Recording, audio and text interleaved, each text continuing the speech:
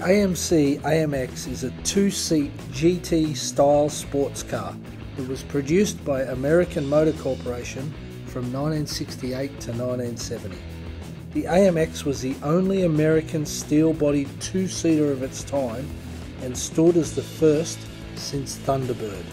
A very low production run with a total of only 24 right hand drive 1969 models and assembled under license in Australia by Australian Motor Industries or AMI between August 1969 and July 1970.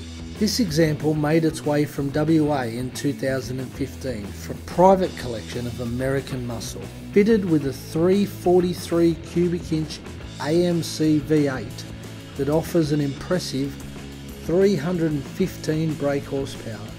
A genuine muscle car, this beauty clears 100 kilometers per hour in under 7 seconds. It's one of only 24 and very, very special.